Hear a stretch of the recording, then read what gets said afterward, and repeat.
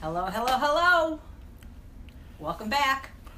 Chef AJ here, episode 26 of Weight Loss Wednesday. Apologize, we did not broadcast last week. I ha- I wasn't sick, I had laryngitis. So, all right. Before we get started, I want to tell you about some exciting things. Instant Pot has come out with two new models the Ultra 60. And Is that the six quart? These are, I think they're six or six point three, and the Duo Plus sixty. Why these are different, I don't know yet. I just got them, so I'm going to play with them, and then I'll shoot some videos. But in the meantime, if you don't have an Instant Pot, get one. www.instantpot.com. Fifty dollars off with code AJ. My favorite so far is the eight quart, but I haven't tried these new ones yet, so I'm going to let you know. And before we get started, I want to thank Nancy from Texas for sending me these Nancy, awesome stickers! They're vegetables. They're fruits and vegetables. I love these. Thank you. We often do sticker challenges. Can you scratch and sniff? Loss program. I don't know if it, they, they're just so cute. So thank you. That's the perfect gift. All right, you ready, Mr. Kenny? We got some people watching? questions, and the questions are. Already, we've got questions before Well, we no, start. All right. someone's from Costa Rica and Oh. Salem, Oregon. Nice. All right, so here we go. Hey everybody, I'm Chef AJ and welcome to episode 26 of Weight Loss Wednesday. I'm the creator of the Ultimate Weight Loss Program and this is where I answer your questions about healthy, permanent, and sustainable weight loss. You're welcome to ask questions live. Kenny does his best, but the feed goes fast, so the best way to submit a question is to sign up to be on my mailing list at www.eatunprocessed.com. And we'll answer it next time. Absolutely. So we actually have questions from last time, which I'm going to answer first. So I was asked if I could devote an episode on no oil to share, especially about its effect on cancer and multiple sclerosis and the coconut oil craze. So not a doctor, don't pretend to be. I'm going to leave that to the doctor, doctors. You know, prevent reverse heart disease, forks over knives. There's so much information. Dr. McDougall's website, he does a great YouTube, it's free on his website about multiple sclerosis and the research he did at Oregon State University where he reversed it with the McDougall diet. So I'm not going to talk about that as far as health and cancer because I really am not qualified to do that. But what I can talk about is oil and its effect on weight, which we know is astronomical. You talked about coconut oil, the coconut oil craze, and my favorite line from the wonderful recent documentary, Eating You Alive, is when Dr. Evan Allen of Las Vegas said that the only thing about the coconut oil miracle that he understands is that it's a miracle that people actually buy it and eat it. You know, oil is 4,000 calories a pound. It has no fiber, it has no nutrients. It doesn't matter if it's coconut oil, olive oil, flaxseed oil, avocado oil, walnut oil. Oil is oil, fat is fat, and the fat you eat is the fat you wear. If there was anything that your body needed in the coconut oil, in the olive oil, wouldn't it be in the coconut or the olive or the nut? So if you're going to eat high fat foods, eat them in their whole food plant form, like nuts, seeds, and avocado. There's nothing magical that happens in the processing that turns a whole food into a processed food that gives you any of these beneficial compounds. If anything, it's the opposite because when you process a food, you make it calorie rich and nutrient poor, and everything that was good about the whole food the water, the fiber, the vitamins, the minerals, the phytochemicals, and antioxidants are thrown away in the processing, and you're left with the non nutritive, disease promoting part. And it, you know, coconut oil is probably worse because it's 92% saturated fat. It's higher in saturated fat than lard. But let's just forget about all the deleterious effects that oil has on your vasculature. It harms your endothelial, the life jacket of your circulatory system. It's atherogenic, obesogenic, and diabetogenic. Let's just pretend maybe it's not so bad or it's even good. The point is, is it's not good for weight loss. It's 4,000 calories per pound. There is no food on the planet that's as calorically dense. It's 40 times as calorically dense as vegetables, which are 100 calories a pound. And it does not facilitate weight loss in any way, shape, or form. When people say, well, if I don't eat, you know, oil or, or fat, I'm going to be, uh, you know, hungry, that, that's not true. If you eat enough calories of whole, low-fat, whole food plants, you're going to be satiated, and what leads to satiation are complex carbohydrates like the potatoes, the rice, the beans, not the oil, I promise. But you'll like it because the more calorically concentrated the calories, the more dopamine is released. And since most of you aren't eating for hunger and survival, but for stress or anger or loneliness or depression or anxiety, you want these foods of a high caloric density so you'll feel better and you're medicating in your brain. Yeah, Kenny, you have a So the question is from Christina Is it possible to still have high cholesterol in a plant based diet? Absolutely. So there's a lot of cholesterol that's genetic, and I wouldn't worry so much about the number as I would worry about what your diet is the thing is, is as people are losing weight, believe it or not, their cholesterol often goes up because you're eating your body's own fat, which is high cholesterol. So it absolutely is. But I would also say, how much fat are you eating? How many nuts and seeds? You know, an avocado. It is very difficult to have very high cholesterol on the low fat or no added fat version of the plant-based diet, but some people do. And again, Dr. Esselstyn talks a lot about this that he doesn't worry so much about the number if you're eating the diet. That's what's going to make the difference, not the number. And how, what, what is hers? Does she know? Is she can she post it? Uh, no, I don't see it okay. yet. Because they say that you know under 150 you're bulletproof against heart disease, but you know. Yes, there is a genetic component for sure, but the diet is what's going to pull the trigger. Your genetics only loads the gun. So, Someone says you were on earlier today, so this is second time Yeah, for well, Shirley I- to see you. Well, hi Shirley, but Shirley, that wasn't Weight Loss Wednesday. I broadcasted just to the Ultimate Weight Loss people. So yes, same outfit. It Gotcha. could get very confusing. I should have probably changed my shirt. So Jessica wants to know if when I go to a veg fest, if I go around the booths and eat all the samples, she says she feels sad about changing old behaviors because it's fun to eat and get that dopamine effect. Can I have a pep talk? Well, join UWL already, and I'll give you a pep talk every single day because I'm always talking to these guys, either visually or typing it. So when I go to a veg fest, uh, do I go around the booths and eat all the samples? So I do go around all the booths, but I don't eat any of the samples because I don't eat if I'm not hungry. And I guess if I was hungry, I might, but I generally don't graze or snack. And generally, veg fests are crap fests, which is why I rarely get invited because it's their, you know, the donut festival, the cupcake festival, the lunch truck festival. I- I don't think I've ever been to a veg fest yet that actually served whole food without oil or sugar, oil, and salt.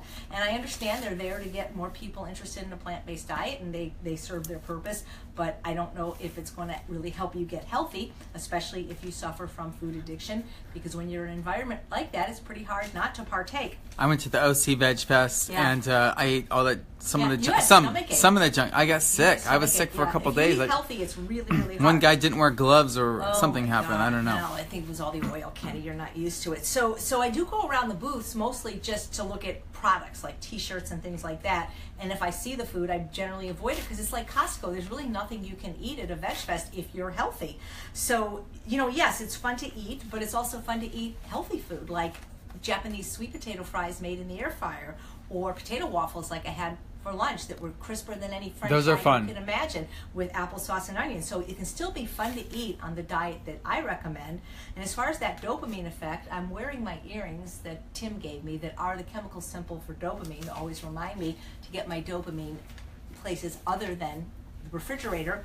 So if you want more dopamine, then get it in healthy ways. If you want feel good brain chemicals, how much sex are you having? How much exercise are you doing?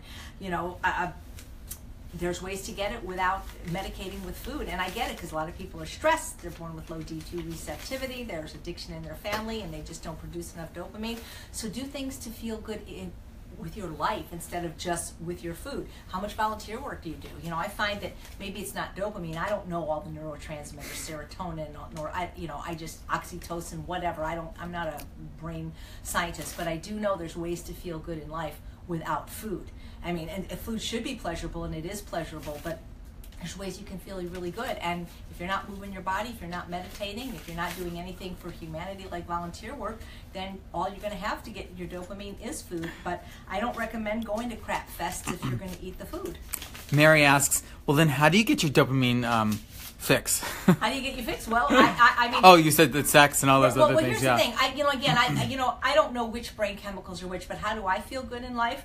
I have strong spiritual connections. I start my day with meditation and prayer. I have a, a dog that I love very much named Bailey that I spend a lot of time with, petting, kissing, hugging, walking.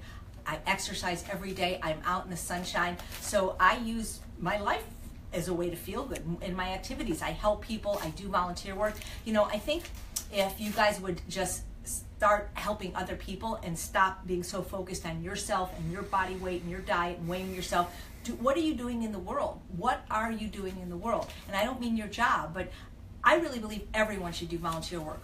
I, I mean, I think that should be like like you can't even live Even Bailey does volunteer yeah, work. Bailey does too, but but you know, volunteer work is the John Pierre says is the rent that you pay for the privilege of living on Earth. And when I graduated Cal State Northridge in 1995, your alma mater, right, Kenny? Yeah, Our graduation speaker spoke in sign language. It was Marlee Matlin, and she said the onus is on all of us graduates to do volunteer work. And I never didn't do volunteer work because when you help other people, that's how you feel good. You know, Mother Teresa, true, she's a saint. She was a saint, but don't you think one of the reasons she administered to ministered to all those lepers was because it actually made her feel good?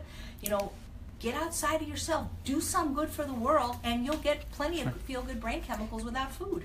Well, as you dog down Veg Fest, I Yeah. want to put it some positive because Colleen was there Yeah. and she went to Veg Fest and she had AJ samples. Right, so there right, might be. AJ Yeah. samples there.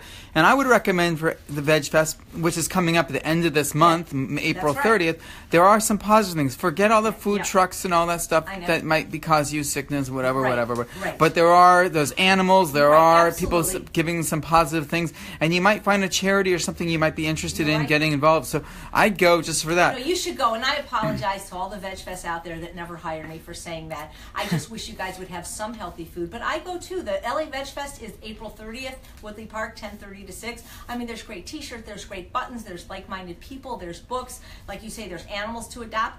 Just stay away from the crap if it's Yeah. going to be a problem for And you. you don't have to go to the beer garden and have That's beer. right, You can go to the beer garden and have dancing and Right. music and stuff like that. Absolutely. Thank you, Kenny, for uh, bringing me back down to Go. Veg Fest LA. Yeah. Billy's So- doing a fantastic job making this happen this year. right. So yeah, that's uh, you know Oops, th- th- I don't recognize one speaker. They're doing all these young people that are social media stars that I've never heard of any of them. So there's not one person in the plant-based world that's speaking. I, but Dr. Bernard, I think. So that should be interesting. Okay, we're all too old now, Kenny. Jan. Not that old yet. Yeah, according to VegFest, we are. Jan says that I should use one of my weight loss Wednesdays to work through the myths of vegetarian and veganism and weight loss and address how some people think that if they are only eating chicken and fish, they are vegetarian. Well, first of all, if you're eating chicken and fish, or chicken or fish, you're not vegetarian at all because they're not vegetables. So I don't know how to go through that myth. That's just a fact. You're just not vegetarian if you're eating chicken and fish. So, as far as the myths about veganism and weight loss, well, it's true that you can be very slender on a plant based diet or you can be very obese, and I've been both. And I prefer being slender. You know, uh, one of my friends, extraordinary chef Del Sroufe, who wrote Better Than Vegan, weighed, I believe, over 500 pounds on a vegan diet. So it depends what comprises the vegan diet because you can comprise an extremely unhealthy vegan diet of junk food, of soda and french fries and, and vegan pastries with sugar and flour and oil, or you can eat a whole food plant-based diet with fruits, vegetables, whole grains, legumes, and maybe a little bit of nuts and seeds and avocado if you if you can afford those calorically and be very slender. So you know, it's interesting because a lot of people get upset that there are healthy vegans, like the ethical vegans. I, I hate that. Again, this is the other thing, Kenny, because the veg fest tend to be more like in the ethical realm. And if you're a healthy vegan, you got to kind of get your nose. They look down your nose at them. I've had ethical vegans tell me, "Well, if you're not vegan for the animals, you shouldn't be vegan." When in fact, I became vegan for the animals 40 years ago. You don't stay vegan for 40 years if you're just doing it for yourself. I was very, very unhealthy and was 200 pounds with the beginning of colon cancer from my very, very unhealthy vegan diet. But what's interesting is like when I spoke at Farm Sanctuary, I said the last time I checked, the animals don't care why we're not eating them. So there's no bad reason to be vegan, whether it's for the health, the environment, the animals, or all three. Because when you are vegan, you're you're affecting all three. You know, I think about it. When I grew up, I went to a Akiba. I went to the yeshiva. I went to uh, like parochial school for Jewish people, Orthodox day school, where the first half of the day was Orthodox and the second half was I didn't know you yeah, were that did, was- religious. Was English. And so we were not Orthodox Jews, we were conservative, but I went to this Orthodox school, and the Orthodox Jews at the time at my school seemed to kind of look down on the conservative Jews, and they seemed to kind of look down on the Reform Jews, which you know we should be embracing any differences because if it, you know uh, especially we're in the same religion and i find the same thing in veganism not that it's a religion it can be to some people is that the, the, the little factions don't get along so well and so I, I wish there was a way to, you know, uh, Will Tuttle would be a good one for that, you know, world peace diet because he's healthy and he's ethical. John Pierre is another example. You know, in, I mean, that there, there's I don't want to say there's infighting, but the reality is, is people don't want um, us to be promoting veganism as a weight loss thing necessarily.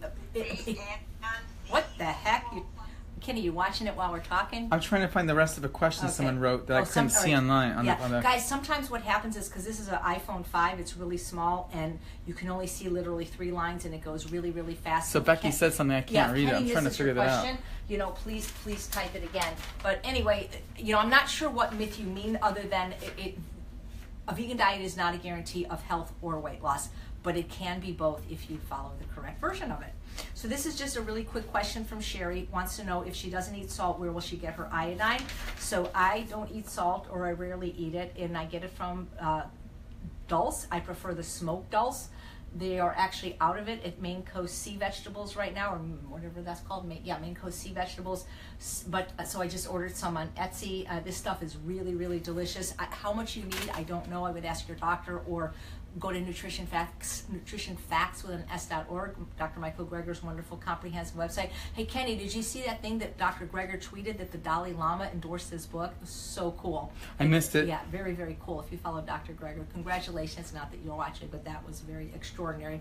And so, um, sea vegetables are delicious. They taste salty because they are from the sea, but they have very little sodium in them. And so that's where we get them. And they're quite good. They're good by themselves. They're good with vegetables. All right. Keep going, Kenny, or anything? You got something for me? I, I'm trying to find. I couldn't find it, so now I'm going to go All back right. and see what well, we have. Maybe they'll post again. Okay, so, um, so I'm sorry I don't have your name on this, not because it was anonymous. We haven't had dinner yet, Marie. Yeah, this is not. You guys, please type in. And by the way, please always feel free to share these if you like them. There's a share button. Do you guys like this time? Because I feel like I'm just kind of dragging it so late. I mean, not that Someone was just wondering how you have so much energy and you have so much That's live. so funny because I get up around five thirty, and I feel like I, I, I. It's not that I missed two p.m., but I'm thinking like at three p.m. Kenny, I was chomping at the bit, ready to go. well, a lot of people So- are seven o'clock right now Yes, for a lot of people, and they're seven, excited to be here because they're usually not No, able I, to catch us. I understand, but I'm thinking maybe an hour earlier might be good. So It's we're like, out This is, this is my normal. Uh, Three o'clock, six o'clock East Whatever. Coast time. We'll do our best. So they got an air fryer, use it several times daily, and started making air fry oil free plantains, both green and ripe. Do you think these are a good source of starch for a meal or considered Sounds a fruit? sweet. My goal is weight loss. So I didn't know the answer to that, so I looked it up, and I also asked Dr. Goldhamer, and he said plantains are actually a fruit, but they're a starchy fruit.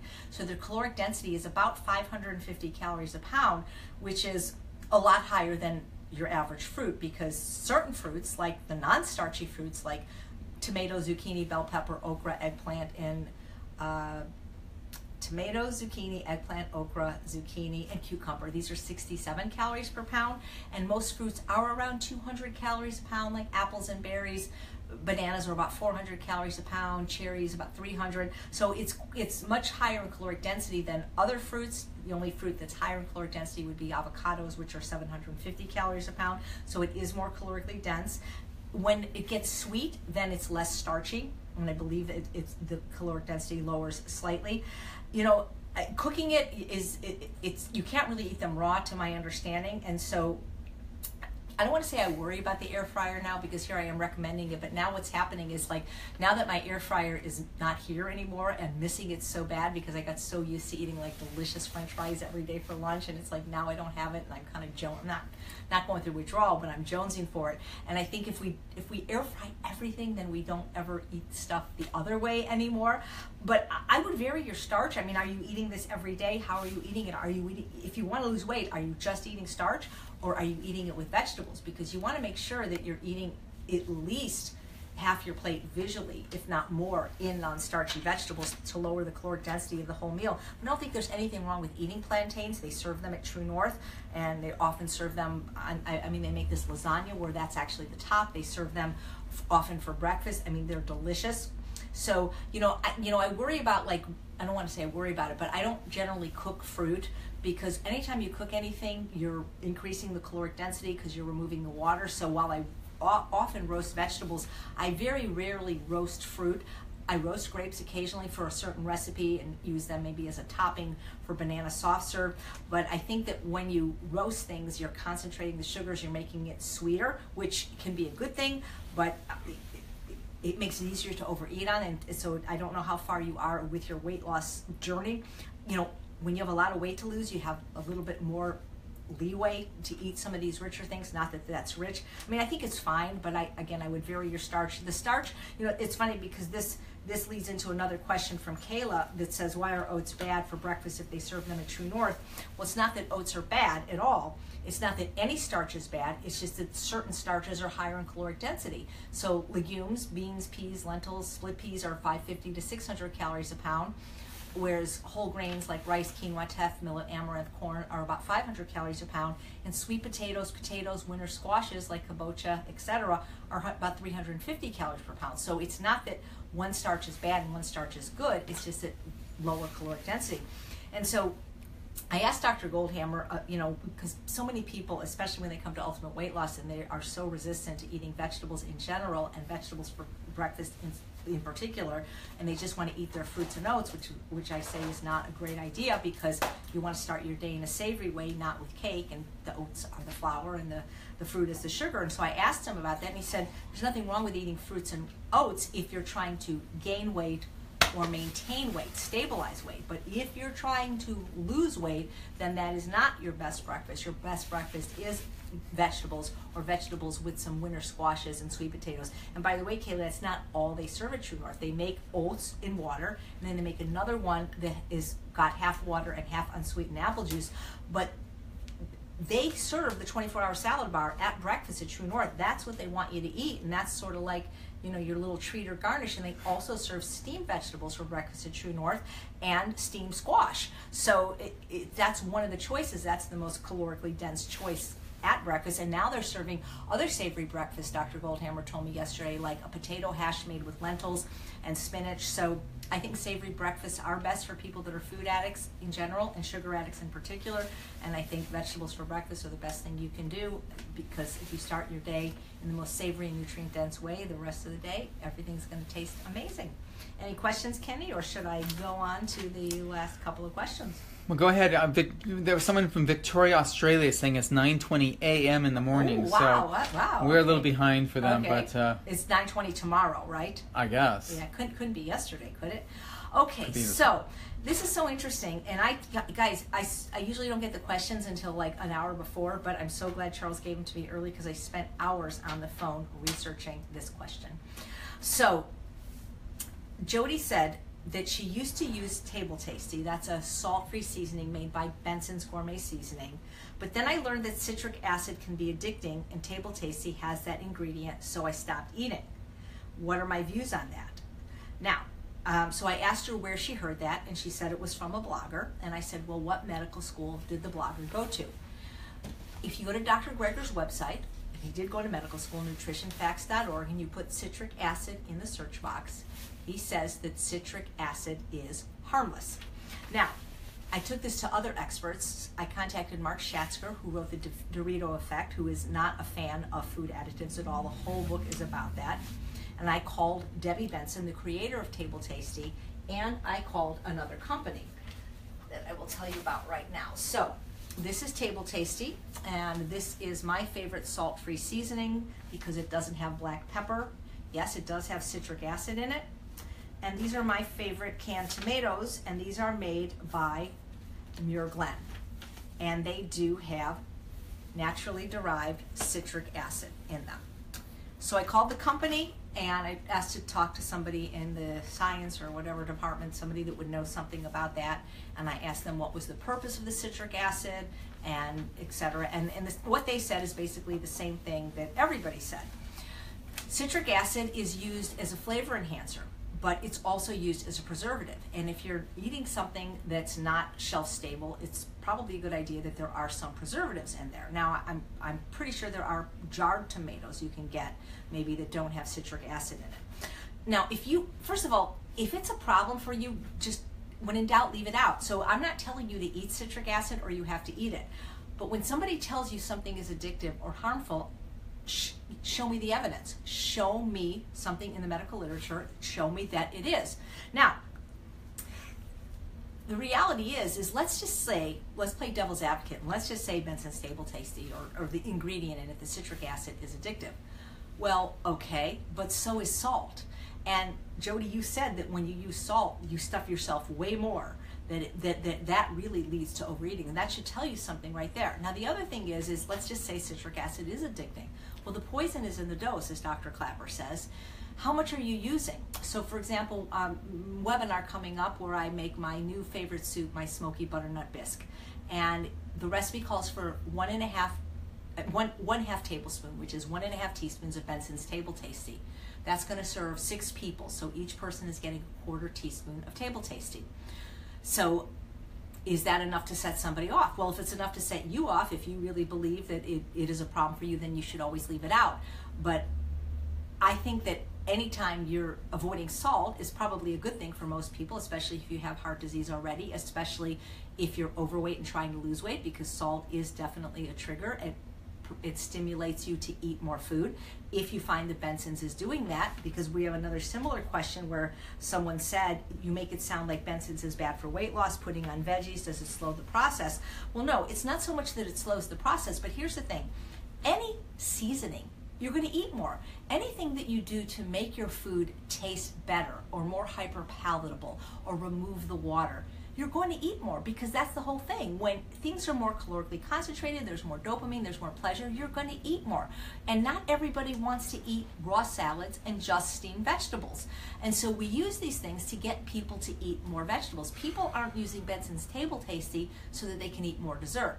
They're generally using it so that they can eat foods that they don't really want to eat like vegetables. And so I think of it as something that can be useful in the transition and maybe even useful thereafter until you neuroadapt to the taste, the more bitter tastes of vegetables. Now, if Benson's Table tasting citric acid was so bad, why is one of their biggest customers several major medical centers, like the Weimar Institute, like True North? You see, I know that Dr. Goldhamer personally is not a fan of it, but he is the most austere eater in the world, and he's not a fan of anything. He's not a fan of nutritional yeast or pressure cooking or anything like that. But he has the luxury to get very sick people that are going to be compliant. He's not working with people that are in the real world. But Dr. Klaper gives it to people to so that they can eat the vegetables. Now, there's many ways to make your vegetables or food taste good without Benson's Table Tasty, but then you kind of have to know how to cook a little bit. I can do it with with with herbs and I don't necessarily need that. I just happen to like it. I don't use it excessively. I have it in a few recipes, but then again, I have no problem just eating plain steamed vegetables either. So the thing is, is when I wrote Mark Schatzker, who wrote the Dorito Effect, who talked about how the food companies, the processed food companies, do these so-called natural flavors that are anything but to to get us to eat more, to trigger overeating. Citric acid has been around forever. And one of the reasons it's used in Table Tasty that uh, Debbie Benson told me is because it's you're, you're balancing the flavors, the sour with the sweet, because you're trying to simulate salt. That's why Benson's tastes more like salt than any other salt-free seasoning. So it's not only being used as a preservative, but it is being used as a flavor enhancer because it has that salty quality that she's trying to replicate. I know her personally. She's a small company. She's, I believe, they uh, a big company tried to buy her, and she didn't want to do that because she didn't want to lose control. So she's not putting it in there to try to trick you to get you addicted to table tasty. I, I really respect her integrity with that, and I don't think these tomato companies are doing that either because there's been citric acid in tomato products forever, and the obesity rates uh, are not because people are having canned tomatoes with citric acid. It's not that. Again, as I said, if it's a problem for you, if anything is a trigger for you, when in doubt, obviously leave it out. So when I asked Mark Schatzker, he said that he didn't think that in the products I was mentioning, like spice blends and tomatoes, that the citric acid was in a problem, was a problem. But when it appears in foods like candy, like beverages, then they're doing it in there to purposely get you to eat more. So I hope that helps. Anything more, Kenny, before I go on to the final question. Everyone's making their comments on Table Tasty, Okay. and uh, Yeah. that's okay. I mean, there's- Yeah, mm, you don't have to use it. I get nothing from Debbie Benson. You get 10% off if you my na- use my name, Chef AJ. You know, this gets into the whole concept of one of the questions we had a couple weeks ago, which is, is it better to go 100% or is it better to kind of, you know, lean in and dip your toe? You know, if you can just do the most health promoting diet from where you are right now, do it. But a lot of people do need these baby steps. They need to need to transition, and sometimes you put the training wheels on the bike before you ride, and things like Benson's Table Tasty can be useful. That said, if there's any ingredient or any product or any food, even a healthy food, that does not work for you, there is no one food or product you have to have. Not even my beloved instant pot or air fryer. And that's why when they say, "Well, you have to eat nuts," well, no, you don't there is always a way to get what you need in a different way. So if it doesn't work for you, it doesn't work. But that doesn't mean it doesn't work for everybody. And you know, to say citric acid's addictive, I want to see the medical research on that because you know what? Alcohol is addictive too.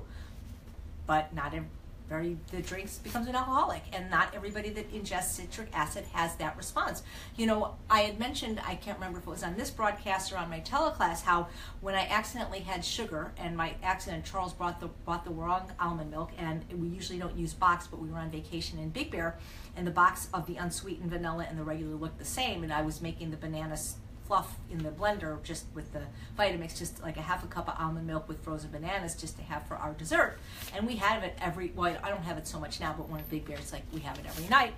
And I was eating it and I go, oh my God, this is like the best ever. It must be the mountain air.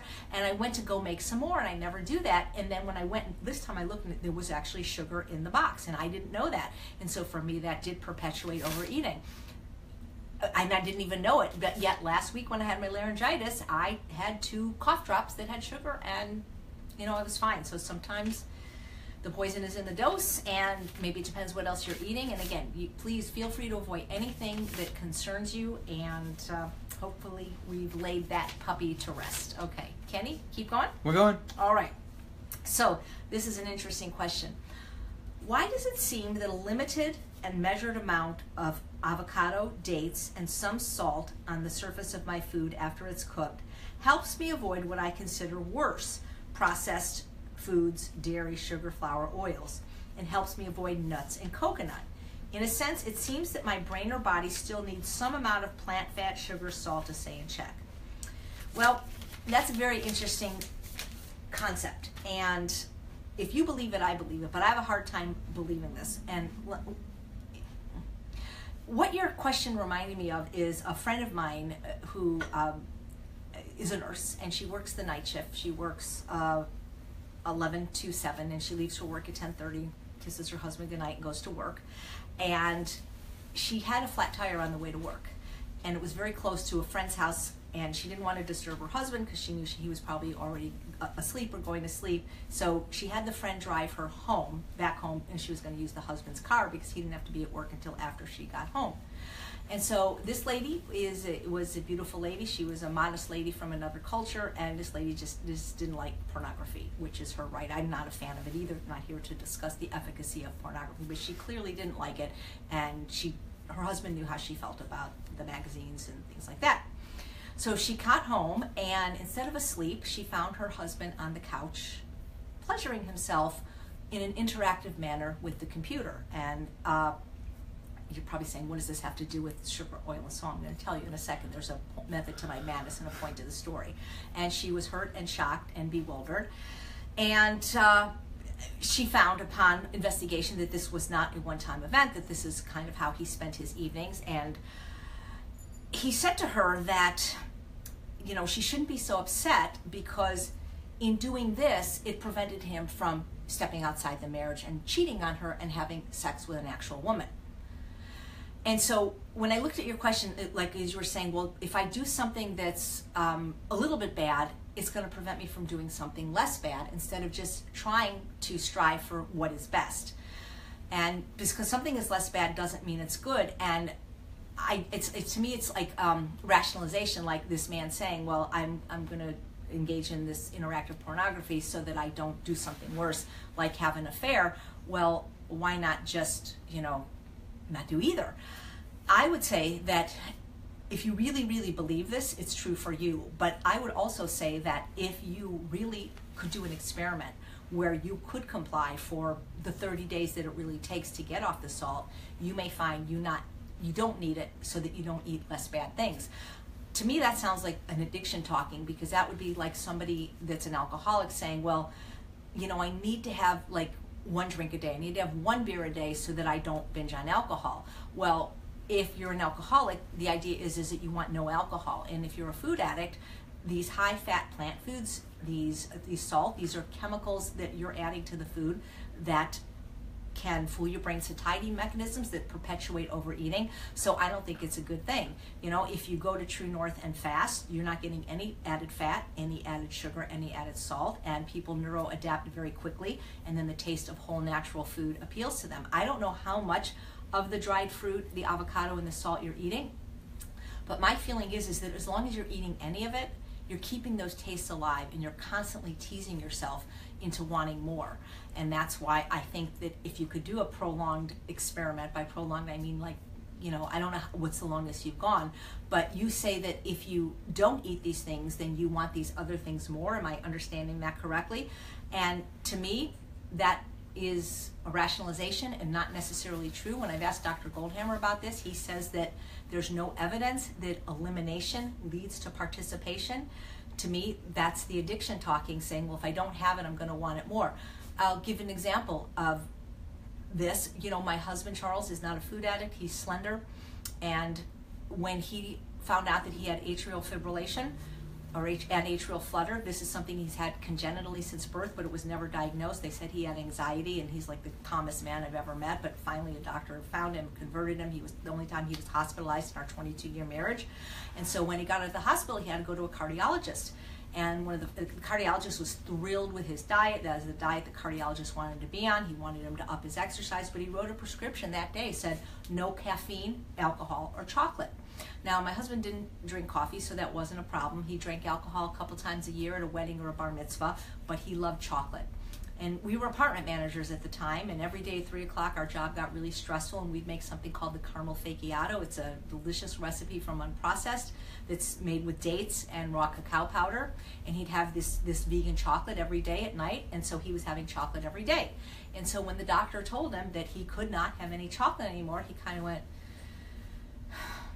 Okay.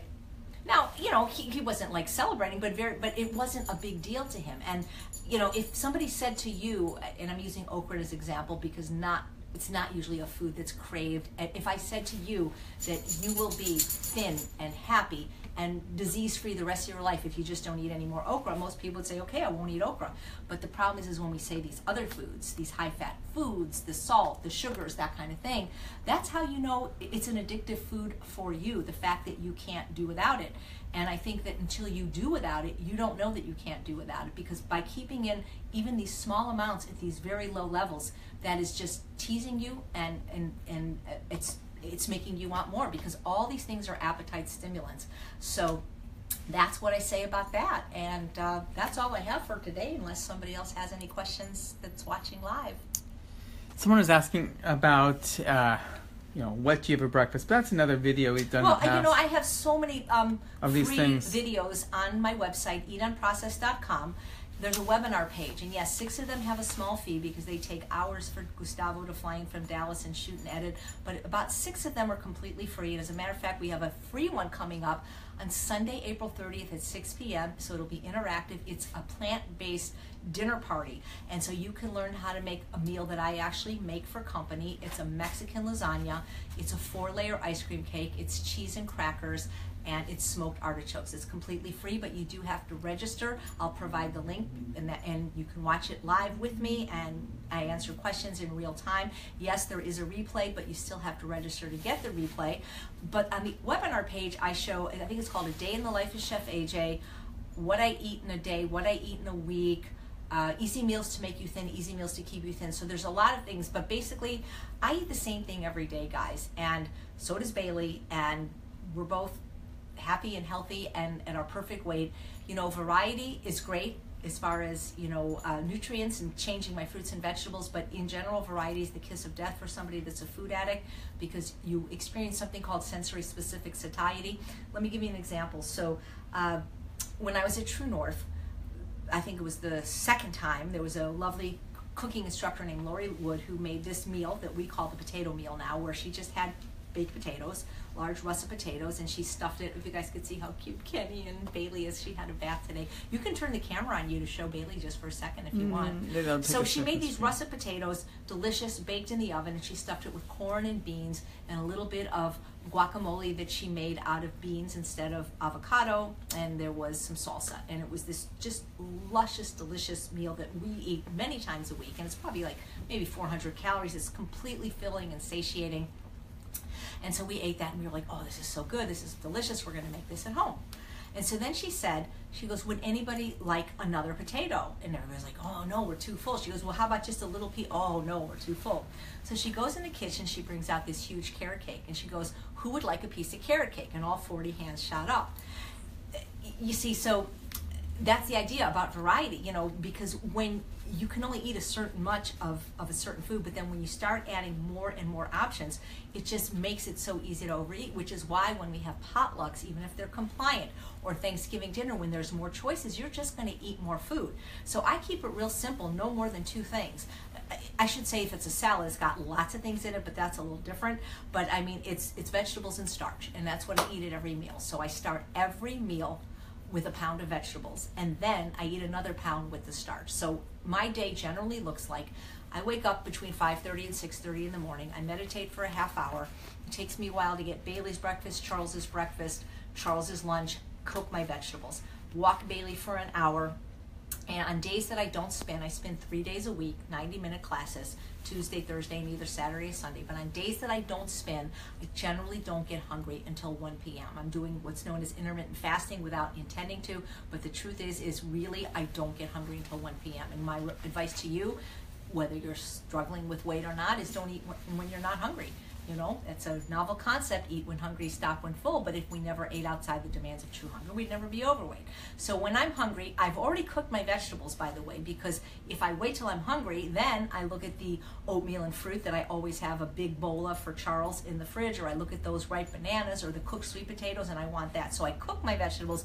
The minute I wake up, I undercook them and put them in this little sealed thing that they're going to stay warm. And then when I'm hungry, I eat my vegetables, which is a minimum of two pounds. It's uh, we're doing a 14 day greens challenge right now in Ultimate Weight Loss, but usually it's I love squash, I love the yellow and the green zucchini, so I'll eat that. And then I wait till hunger returns. Now sometimes it returns in 20 minutes, but some days if I'm just sitting at the computer typing, it might be an hour or two hours. So then when I'm hungry again, I eat a nice big serving of starch, a minimum of 24 ounces, that's a pound and a half after cooking, of some kind of potatoes. Today was potato waffles, yesterday was Hannah yams, and I'll eat that with another pound of non-starchy vegetables. Usually it's broccoli, sometimes it's cauliflower. I switch that up a little bit. Then when hunger returns, because I'm going to be walking Bailey for an hour, but sometimes I don't get dinner till 7 because that's when Charles gets home, then I'll eat another pound of vegetables, this time raw. So usually it's purple carrots, it's jicama, things like that. And then for dinner, again, it's starch and vegetables. So sometimes it's the huge salad I showed you in the video of the eight secrets to superior salad satisfaction, where the salad has starch in it, like wild rice or brown rice or I might have one of my soups, smoky butternut bisque with wild rice or brown rice. And uh, that's it. Vegetables, starch, vegetables, starch. And do I eat fruit? Well, I'm always eating the fruity vegetables, but if I feel like I need a treat, I'll have some fruit. But I don't eat a lot of fruit because as a recovering sugar addict, fruit has now become my candy, and I could eat five bananas, and that's not such a good thing. So yeah, I, I save fruit for the end of the day to, as my sweet treat. Some days maybe I don't eat any sweet fruit. Some days I eat one or two pieces, and that's what I do. Uh, eat, rinse, repeat, and it's it really works for me. Even Dr. McDougall, who's not overweight or a food addict, says him and Mary eat the same thing every day too. It really works. Simplicity is the key. Stop chasing recipes. Start eating food. So as we wrap this up, AJ, let's talk about where are you going to be speaking in the week next week? Gosh, this week? you know, I'm home for a while, guys. Actually, um, my book is edited, and the first draft is being uh, reviewed on Saturday with the editor, and so I'm staying home to finish that. Where am I going to be speaking? Well, I just spake, spake. That's past tense of spoke at the Orange County meetup. That's on this page. If you want to see the lecture I gave last week, it's it's very good. It's only about 30 minutes. So what's coming up? Let's see. My 40th high school reunion. I don't think I'll be speaking there, but I'll be going to. I'll be going to that.